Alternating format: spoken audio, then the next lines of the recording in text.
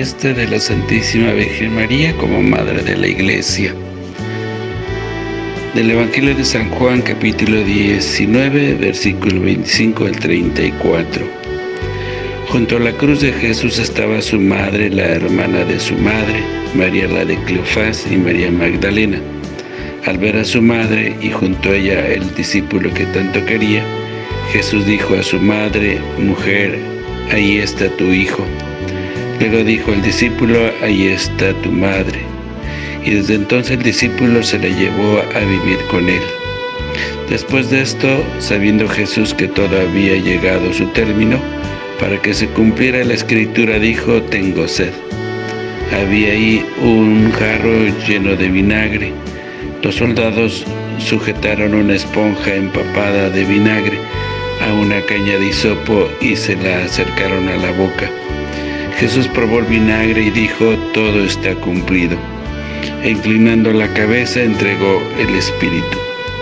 Entonces los judíos, que era el día de la preparación de la Pascua, para que los cuerpos de los ajusticiados no se quedaran en la cruz el sábado, porque aquel sábado era un día muy solemne, pidieron a Pilato que le quebraran las piernas y los quitaran de la cruz.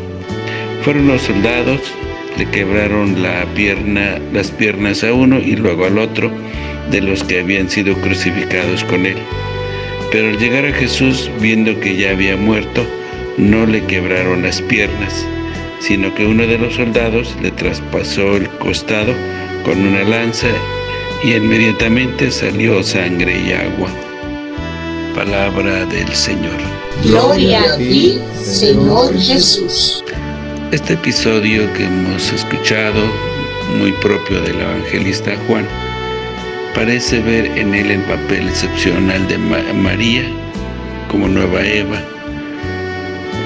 eh, y en relación con la iglesia y los cristianos representados por el apóstol Juan. Este episodio no describe solo un acto de piedad filial de Jesús hacia, su madre, sino una verdadera revelación de su maternidad espiritual.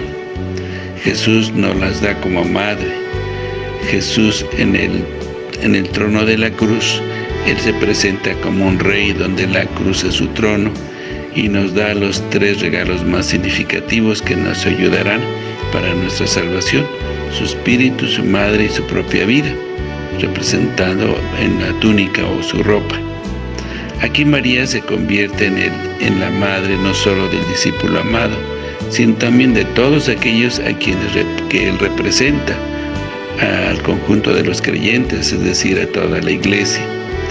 La iglesia que se funda en la fe, en la palabra de Dios, es la iglesia que nace al pie de la cruz.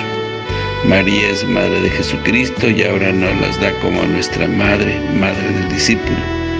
Y Jesús la llama mujer porque realiza la misión del nuevo pueblo de Dios, que con frecuencia es contemplado alternativamente como mujer y pueblo, así lo expresa el profeta Isaías.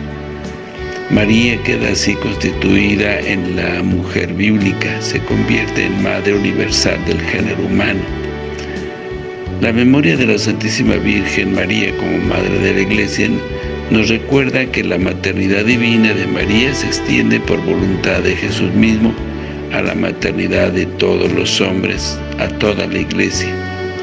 Desde, mil, desde el 2018 se celebra el lunes después de Pentecostés.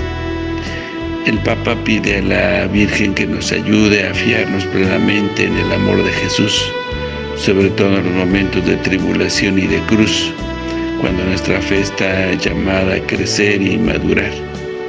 No es pues simple devoción mariana rezar a la Virgen con este título, sino obedece la voluntad de Jesús, tal como nos los transmite la Escritura y después la tradición.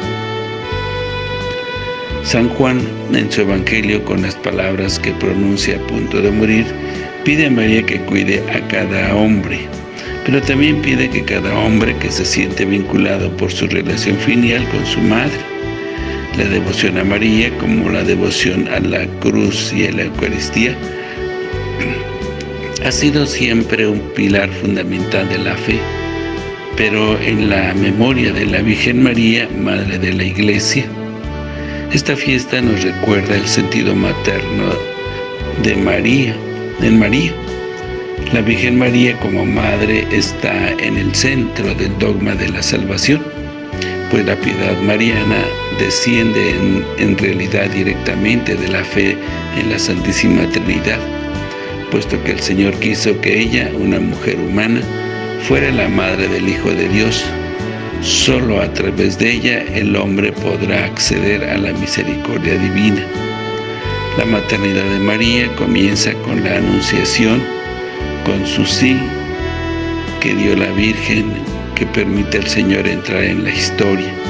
Y su maternidad por voluntad divina no termina al pie de la cruz, sino que se eterniza con el, el objetivo de llevar la imagen del Hijo en los hombres y entre los hombres. Además, la encontramos madre, esta vez de los primeros creyentes, los apóstoles, en el cenáculo, en espera de la venida del Espíritu. De ahí el vínculo de esta memoria con la solemnidad de Pentecostés. El título de María, Madre de la Iglesia, está presente en el sentir eclesial de los santos padres, de San Agustín, de San León Magno. A lo largo de los siglos, la devoción mariana ha hecho que se rece a María, atribuyéndole diversos títulos, pero el título específico de Madre de la Iglesia aparece en algunos textos de autores espirituales y en el magisterio, sobre todo del Papa Benedicto XIV y León XIII. El Papa Pablo VI, el 21 de noviembre de 1964, al término de la tercera sesión del Concilio Vaticano II, el pontífice declara a la Santísima Virgen como Madre de la Iglesia, es decir, de todo el pueblo cristiano, tanto de los fieles como de los pastores, que la llaman la Madre Santísima.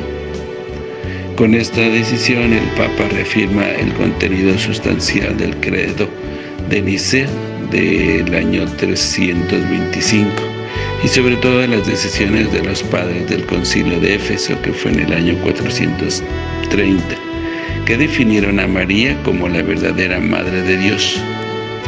En el año santo de la reconciliación que fue en el año 1975 la Santa Sede propone una misa votiva en honor a la Madre de la Iglesia, que luego se, se insertará en el misal romano, pero aún no en las memorias del calendario litúrgico. Sin embargo, en algunos países, como en Polonia, Argentina y algunas órdenes religiosas, la celebración de la memoria litúrgica de María, Madre de la Iglesia, está muy extendida y está incluida en las celebraciones particulares. Por eso en 1980 el Papa Juan Pablo II introdujo en las letanías lauret, lauretanas la veneración de la Virgen como Madre de la Iglesia. Y el 11 de febrero de 2018, el día del 160 aniversario de la primera aparición de la Virgen en Lourdes, el Papa Francisco dispone en la memoria de la Santísima Virgen María, Madre de la Iglesia, se ha inscrito en el calendario romano, convirtiéndose así en universal y se ha celebrada cada año el lunes después de Pentecostés. Que María como Madre nos guíe, nos acompañe en nuestra vida cristiana para ser verdaderos hijos de Dios. Que el Señor los bendiga.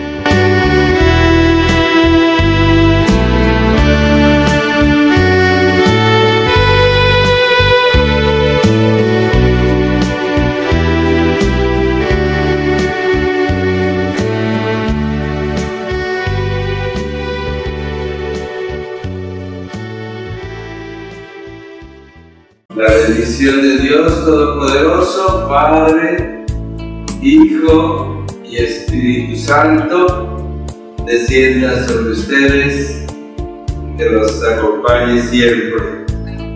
Que el Señor los bendiga. Si te gustó este video, y deseas seguir recibiendo el Evangelio, misa en vivo, oraciones y muchas reflexiones más, no olvides suscribirte a este canal de YouTube, dejar tu comentario, compartirlo y darle like. Que Dios te bendiga.